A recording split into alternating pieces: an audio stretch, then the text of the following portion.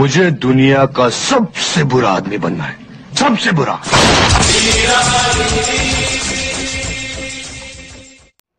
Hi everyone आप लोग कैसे हैं? मैं उम्मीद करता हूँ कि आप लोग अच्छे होंगे। चलिए दोस्तों, आज मैं आप लोगों को बताने जा रहा हूँ कि आप लोग किसी भी वीडियो को स्लो मोशन या फास्ट मोशन में वीडियो को कैसे बना सकते हैं? दोस्तों, आप लोगों ने देखे होंगे कि इस तरह के वीडियो बहुत वायरल होते हैं और ट्रेंडिंग में भी जाते हैं। तो दोस्तों, इस तरह से वीडियो कैसे बनाया जाता है, उसी के बारे में आज मैं बताने जा रहा हूँ। तो दोस्तों, इससे पहले अगर आप हमारे चैनल में नए हैं तो चैनल को सब्सक्राइब करें, वीडियो को लाइक करें और घंटी के बटन को प्रेस कर लें, ताकि आपको इसी तरह के हमेशा नॉलेजेबल वीडियो आपको मिलता रहे। तो चलिए दोस्तों, वीडियो को करते हैं स्टार्ट। चलिए दोस्तों, मैं आ गया हूँ अपने मोबाइल स्क्रीन पर। तो सबसे पहले दोस्तों, आप slow motion, fast motion video को करना चाहते तो उसके लिए आपको एक एप्लीकेशन की ज़रूरत पड़ेगी, जिसे कहते हैं वेन एप्लीकेशन। दोस्तों, इस एप्लीकेशन का लिंक आपको डिस्क्रिप्शन पर मिल जाएगा। तो चलिए दोस्तों, मैं आप लोगों को एडिट करके दिखाता हूँ कि आप किसी भी रील्स को या फिर कोई भी वीडियो को आप स्लो मोशन, फास्ट मोशन कैसे कर सकते हैं। तो सबसे पहले दोस्तों, वेन एप्लीकेशन को मैंने ओपन किया। ओपन करने के बाद दोस्तों, आप यहाँ देख सकते हैं, प्लस का आइकन है, उस पर क्लिक करें। क्लिक करने के बाद दोस्तों, ऊपर दिख रहा होगा न्यू प्रोजेक्ट का ऑप्शन। इस पर क्लिक करें। क्लिक किया। क्लिक करने के बाद दोस्तों, आप जिस भी वीडियो को एडिट करना चाहते हैं, जिस भी वीडियो को फास्ट मोशन या स्लो मोशन में करना चाहते हैं, उसे सिंपली यहाँ से ले ले। तो मैं इस वीडियो को करना चाहता हूँ तो इसे ले लिया। उसके बाद यहाँ पर तीर का आइकन दिख रहा होगा, इस पर क्लिक करें। क्लिक किया। क्लिक करने के बाद दोस्तों, यहाँ पर देख सकते हैं कुछ इस तरह से मेरा वीडियो है। मुझे दुनिया का सबसे बुरा आदमी बनना है। तो दोस्तों देख सकते हैं यहाँ पर जो था वो स्पीड चल रहा है।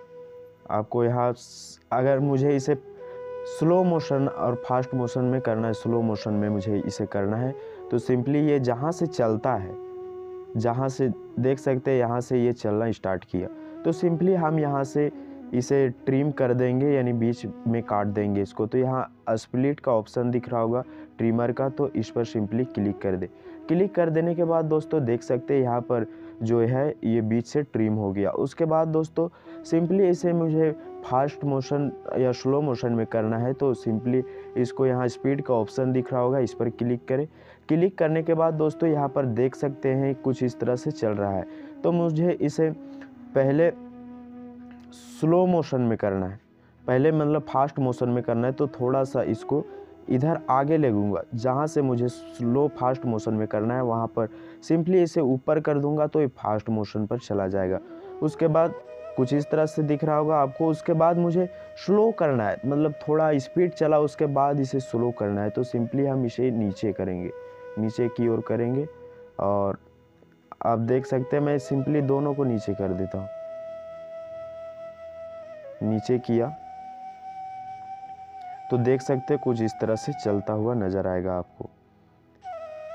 अब जहाँ से भी करना चाहते हैं, कुछ इस तरह से दिख रहा होगा। तो देख सकते हैं दोस्तों, अगर मुझे फास्ट मोशन पर करना है, यानी स्पीड चलवाना है तो इस ग्राफ को ऊपर की ओर ले जाएँगे। जैसे मुझे यहाँ से थोड़ा स्पीड कर देना है। जैसे मुझे यहाँ से स्पीड कर देना है तो सिंपली इसे यहाँ जहाँ से भी करना है, मैं वहाँ पर इसे खींचता हुआ ले जाऊँगा और उसे ऊपर कर दूँगा।